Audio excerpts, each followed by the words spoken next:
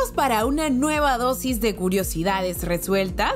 Pues a continuación nuestra flamante pero ya aclamada secuencia sobre el porqué de las cosas. ¿Por qué los gatos ronronean? Los michis son animales increíbles, no solo por lo hermosos que son o porque siempre caen parados, sino también porque hacen algo que ninguna otra mascota puede, una vibración hermosa a la que se le llama ronroneo. Ya, pero ¿cómo es eso? Pues existen varias teorías al respecto. Una de ellas defiende que el ronroneo en gatos se produce a través de los músculos de la laringe, que expanden y contraen la glotis. Aunque la versión más fiable es que este típico ruido de los gatos se produce por un efecto de resonancia cuando rebotan sus cuerdas vocales. No hay estudios que demuestren algo definitivo, pero se trata de algo innato a ellos, porque se sabe que un gatito con apenas horas de nacido ya es capaz de ronronear a la hora de solicitar la leche materna. Y bueno, dado que las señales del cerebro de tu gato crean todo el movimiento del ronroneo, los científicos piensan que este es más como una contracción muscular que una comunicación vocal. Generalmente, esto se asocia a un estado de alegría y bienestar, pero puede tener otros significados.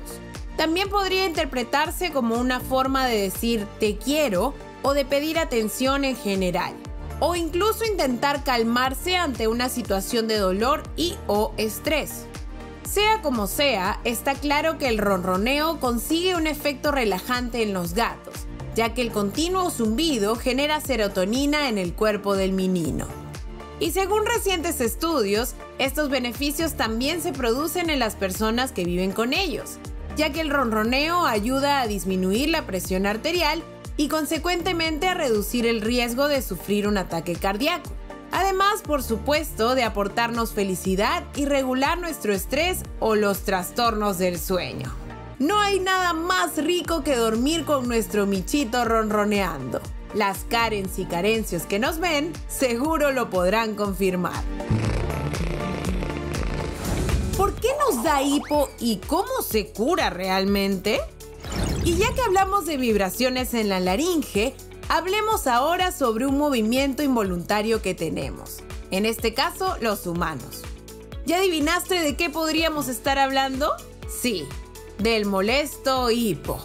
Como dijimos, el hipo es un movimiento involuntario del diafragma, que es el músculo que separa la cavidad torácica, en la que se encuentran los pulmones y el corazón, del abdominal, en donde está el intestino, el estómago, el hígado, etc., que se contrae de forma súbita en medio de una respiración normal. Estos espasmos van seguidos de un cierre de las cuerdas vocales, y es esto lo que da lugar al sonido particular del hipo que todos conocemos. Generalmente no representa ninguna importancia, pero sí que es incómodo para uno mismo y todos los demás, aunque también podría llegar a ser gracioso. Normalmente esto se da por comer demasiado rápido o en exceso, estar nervioso o con estrés, consumir gaseosas o bebidas alcohólicas y también masticar chicle, entre otras cosas. Aunque si es demasiado recurrente, sí es mejor ir al doctor. Entonces, ok, vamos al punto que más nos importa. ¿Cómo lo detenemos realmente? Pues lamentamos decirte que no hay realmente una respuesta concreta para eso. Así que solo nos queda seguir haciendo los trucos de siempre. Beber agua lentamente, darle al hiposo una palmada en la espalda, aguantar la respiración, estornudar, toser o cualquier otro consejillo de la abuela. O todos a la vez si es que ninguno funciona. Uy, no, ya empezó de nuevo. ¿Por qué se estila que los vestidos de novia sean blancos?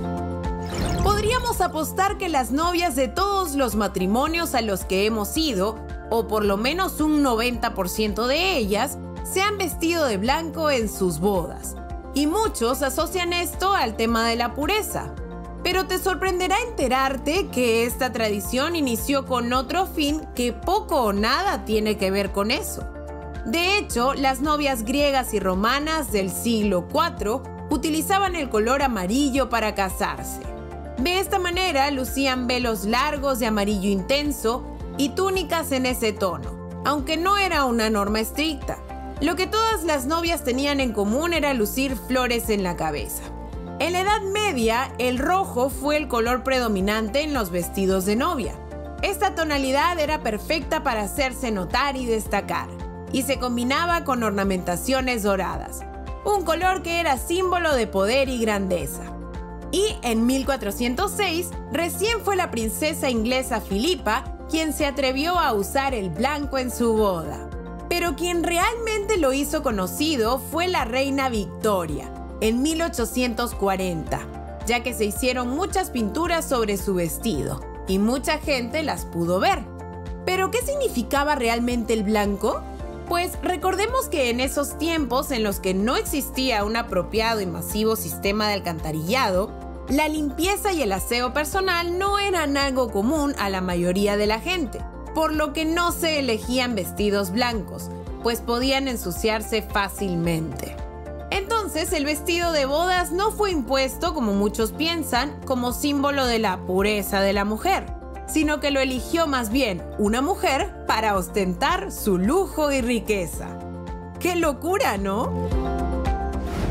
¿Por qué las cebras tienen rayas? Cerramos ahora con un equino cuyos colores hermosamente distribuidos han causado más de una polémica. Hablamos de la cebra, prácticamente la causante de la moda animal print. Primero, ¿Será que son blancas con rayas negras o negras con rayas blancas?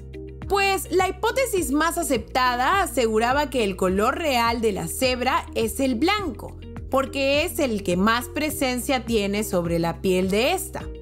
Otro estudio publicado el año pasado en la Enciclopedia Británica asegura que se puede afirmar que son negras si se analiza su pigmentación.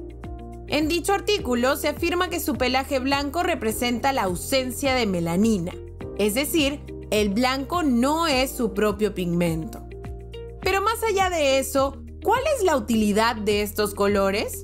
Porque, como seguro imaginarás, no están ahí de casualidad. La explicación tradicional al peculiar pelaje de la cebra se le atribuye al camuflaje, para que se puedan esconder con mayor facilidad entre la hierba alta de los leones, ya que estos no distinguen los colores.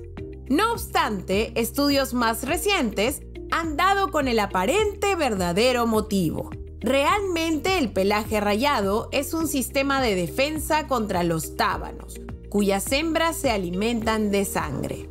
Esta especie de díptero se siente atraído por la luz polarizada, y pues, según este estudio, la mezcla de blanco y negro es perfecta a la hora de alterar la señal de luz polarizada. Así que, aparentemente, esta es la teoría más fuerte del momento. No para protegerse de los leones, sino de estos insectos.